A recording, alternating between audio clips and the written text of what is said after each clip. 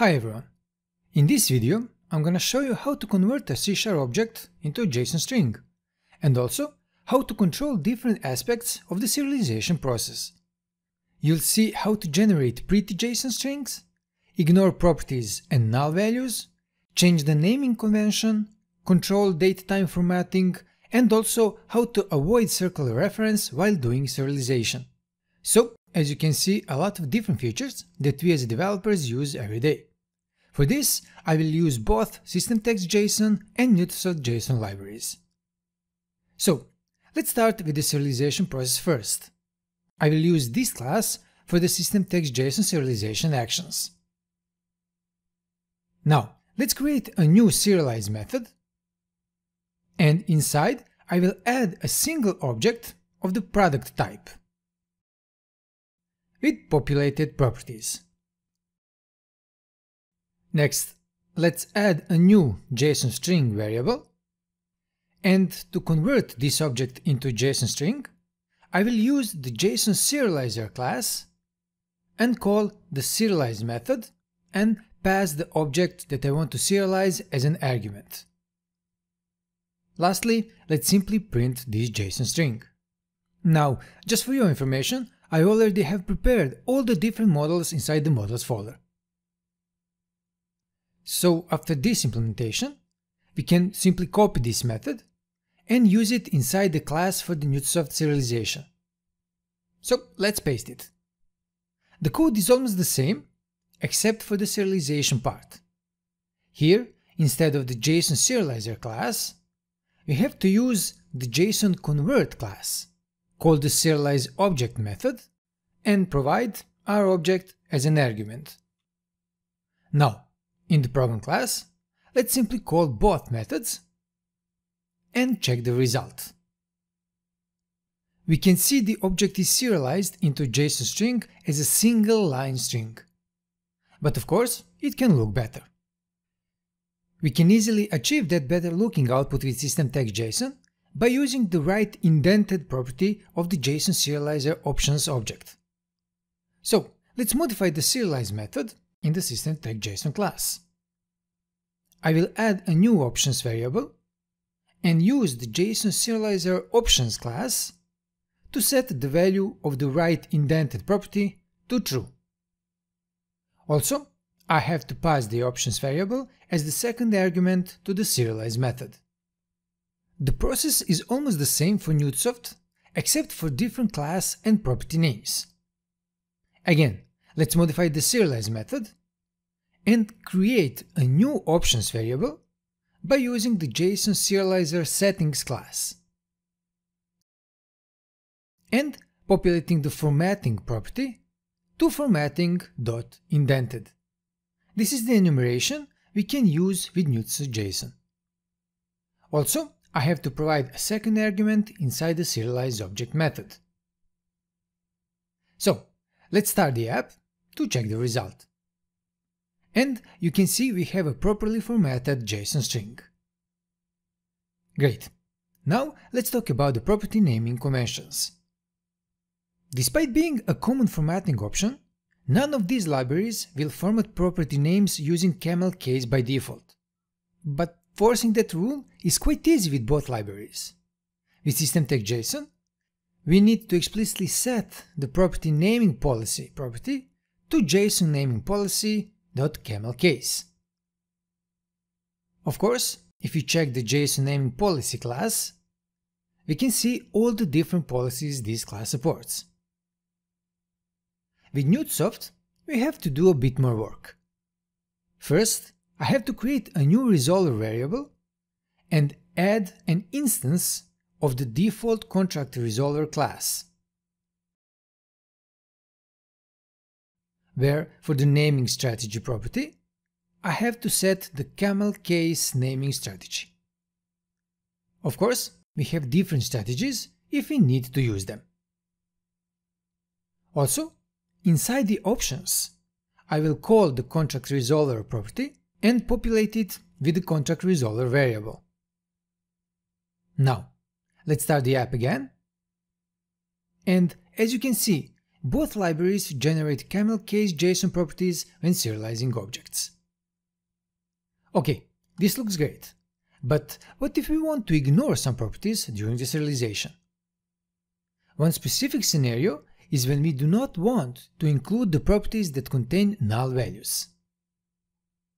So, to show how to do that with system.text.json library, let's create a new method and name it serializeIgnore. Inside, I'll have the same object, just with these two properties set to null. Now, let's add the options for the serialization. And inside, I want to set the write indented property to true. And the more important property for this use case, default ignore condition, set to JSON ignore condition dot when writing null. And let's use this as a namespace. This will ignore the property with a null value. Of course, we need to create a JSON string and use the JSON serializer.serialize method and pass both arguments, as we did in our previous method. Finally, let's simply print the JSON string. Now, for Newtonsoft, the process is similar. Let's first copy the previous serialize method, change the name to serializeIgnore, set these two properties to null, and remove the contract resolver variable and the property from the options. Now, all I have to do here is to populate the null value handling property by using the null value handling.ignore enumeration. To test this, let's comment on the previous method calls and call these two new methods. Let's run the app, and as you can see, the resulting JSON string will not include any of the null properties. But of course, we don't have to ignore only null properties. We can also ignore any specific property from the object. Both these libraries include attributes that will let us provide serialization options for each property separately. The most basic example of this is the JSON ignore attribute that exists in both libraries. To show that, let's simply paste a new method in the system text JSON class. As you can see, everything is the same here, but let's say that I want to ignore the financial rating property from serialization. All I have to do is to modify the customer class and set the JSON ignore attribute on top of the same property. Of course, pay attention to the namespace. It must be from system text JSON. Now, let's do the same for the Newtonsoft class. Here, let's add a new method you can see the different named object I use for serialization. So let's navigate to that class and again use the JSON ignore attribute. Just this time I'm using it from the Newtonsoft JSON namespace. With all this in place, we can comment on the previous method calls inside the program class and call the two new methods. Let's start the application and we can see the resulting JSON string without the financial rating property, even though it was present in the original object. Now, I have to mention that if you use anonymous or dynamic objects in your code and you want to serialize them into JSON strings, both libraries provide the support out of the box. So you can use the standard serialization process with both libraries and everything will work just fine. Let's show that as well by creating another method in the system text class.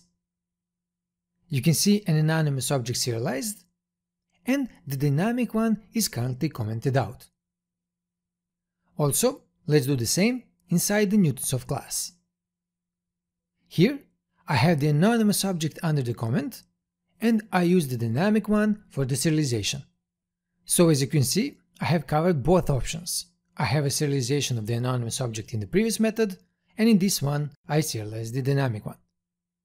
So Let's get back to the program class, comment on these calls, and call new methods. Once I start the app, you can see both objects serialized successfully. With this done, we can talk about controlling the date and time formatting during the serialization. System.text.json uses ISO 8601 format when serializing datetime or datetime offset properties in our objects as you saw in our previous examples. However, we can customize that by creating a custom converter. So, I already have the general datetime converter class created, and this class must inherit from the JSON converter class where I provide the datetime as the type parameter.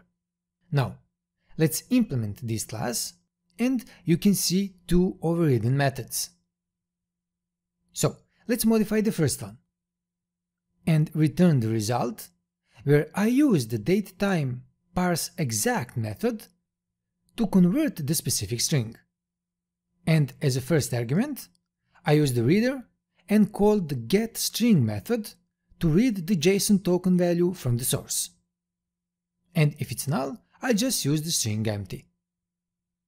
Then, for the format, I use G as general format specifier, and for the culture, I instantiate the culture info class with the English US culture name.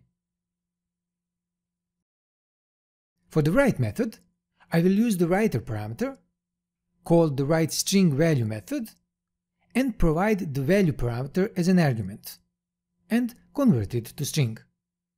Where again, I use a general formatting specifier, and for the culture, instantiate a new culture info class with the English US culture name. Now, there are two ways to apply this new converter. Let's revisit the system.text.json class and add a new method with a familiar implementation. So, to add a new converter to our options, I have to call the options.converters.add method and provide an instance to the general datetime converter class. That's all. Let's navigate to the program class, comment on these calls, and add the call to the new method. Now, let's start the app and see the date formatted differently. To show the second way of applying a new format, I have to comment out this code in the serialize method, open the person class, and apply our custom converter to the specific property by using the JSON converter attribute and providing the type of the general date time converter class as an argument. Also, you have to pay attention to include the correct namespace, because Newtonsoft has the attribute with the same name. If I start the app again, we can see the same format. In Newtonsoft, using a custom date and time format is done in a very similar way. Since the implementation is quite similar, I already have that implemented. You can see the logic is almost the same. Just this time, I use the JSON converter abstract class as the base class. And I have to override three methods. The canConvert method is used to verify that this custom converter can convert the specific type, in this case the date time type. The other two are the same as in the previous class. With this converter implemented, I can use it in two ways. To show the first way, let's revisit the Newtonsoft class and add a new method here.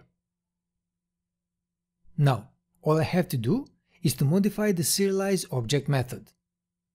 I want to have proper formatting here, and I can instantiate the custom formatter I created as the last argument.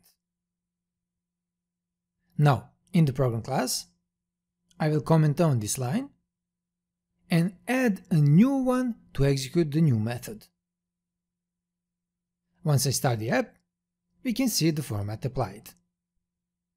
Also, as I said, there is a second way to implement formatting, and it is the same as the one we use for system.text.json. So first, let's just remove the custom formatter from the serialize object method to make sure we are using only the new way.